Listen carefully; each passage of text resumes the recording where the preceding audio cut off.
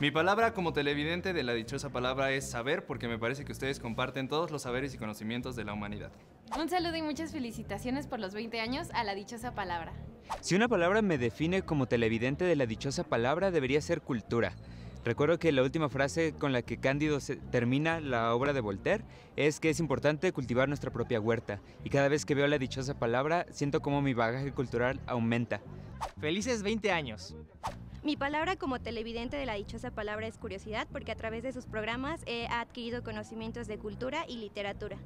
Muchas felicidades por estos 20 años, la dichosa palabra, que sigan muchos más programas. Mi palabra como televidente de la dichosa palabra es significado, puesto que me da esas explicaciones y significados que me ayudan a entender más aquello de que no sé. Desde la coordinación de la carrera de comunicación en FESA Catlán, les enviamos un caluroso abrazo por estos 20 años de la dichosa palabra. Que vengan muchos más. Felicidades.